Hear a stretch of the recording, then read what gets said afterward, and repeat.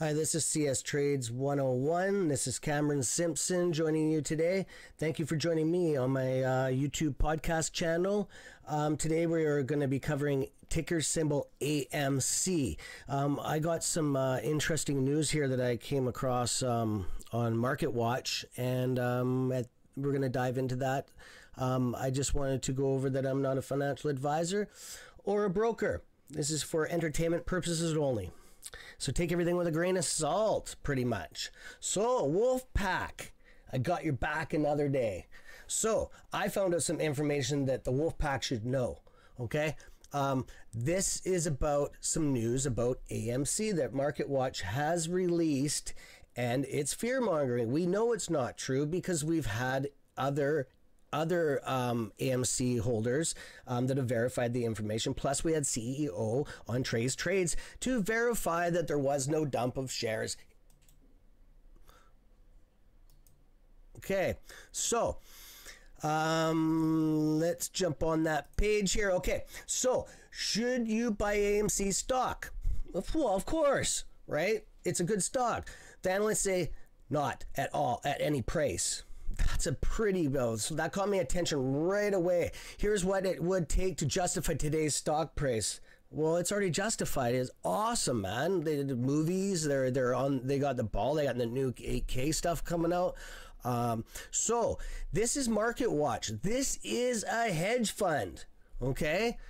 Um, the ACM Empire 25 to off Square Price reopening on March 5th. So look at, there's already people standing outside waiting to get in the IMAX. Okay, good stuff.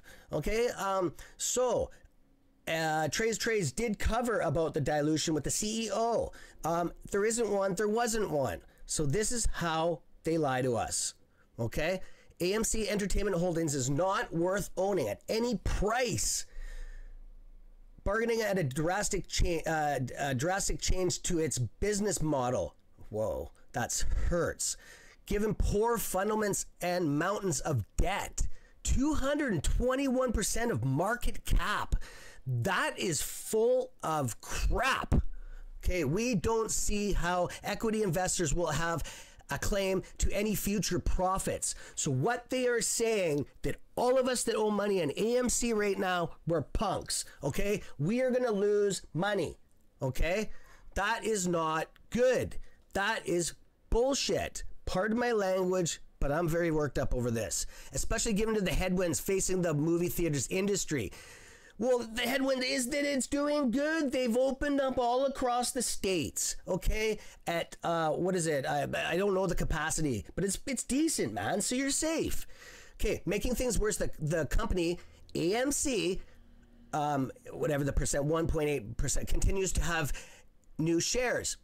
Uh, no, there isn't any no shares that were diluted in put into the uh, into the share pile um, for until investors to buy.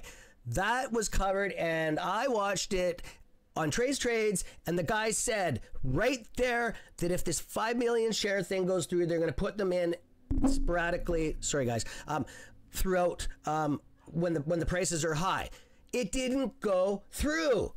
But this is they're still playing on this, guys. Okay. Apart from the bankruptcy concerns, bankruptcy's off the table. So this is just too much crap. Okay, AMC's has been trending in the worst direction ever prior since COVID 19. No, they're not. They're doing good. They are doing good. Bankruptcy is off the table. We heard it from the CEO. Okay, I'm not going to get into this. They're saying they're burning cash. They're not making any money. The theaters are open, guys. They're making money. The, the what was that they had two top sells King Kong and uh, the other one there. I, I can't remember. Sorry, guys, for my ignorance on that.